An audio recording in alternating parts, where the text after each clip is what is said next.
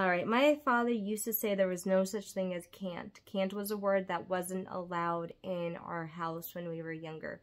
We were never allowed to say, I can't do that because you can. You can do anything that you want and you can live wherever you want. If you can make it work someplace, you can make it work, work another place. There was no such thing as my house as can't when I was growing up as a child. And I want the same for you. You can do everything. I know you can.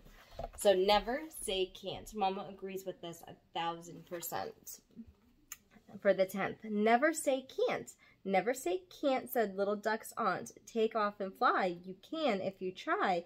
Can't just won't do. So Duck did, and he flew. See, he flew and he flew and he flew because his aunt wouldn't let him give up. You can't have something that is a can't. You have to do, I didn't figure out how to do this yet, but I will. There's always a way to do something. You will always figure things out.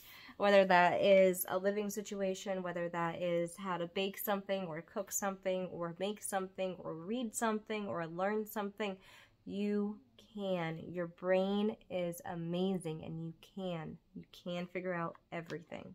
Today is November 10th. You are six years and seven months old today. I hope that you are loving on yourself and that you are loving on others and that you are growing and developing on things that you like and things that you don't like. It's okay to be who you are. You are very special and amazing. I love you and I miss you.